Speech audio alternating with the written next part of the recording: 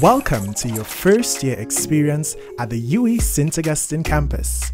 We at the Division of Student Services and Development are truly delighted that you have made the choice to hashtag BUE.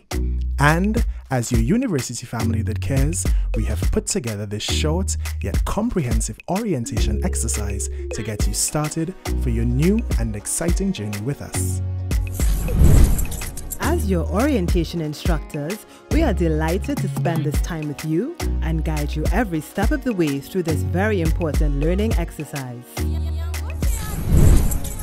During this online session, you will be introduced to valuable information that is specific and relevant to your first year of study. The information covers a range of important topics and is presented to you in eight short lessons that will allow you to learn all you need to know in a quick and simple manner. Here's how it will work. Each lesson will introduce you to a specific topic and will be presented to you via video.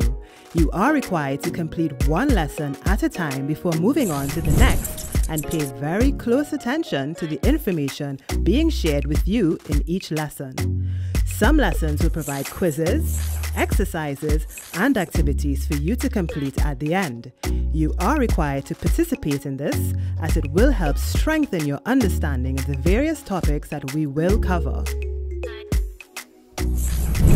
We ask that you pay close attention to the information that will be shared with you in each lesson.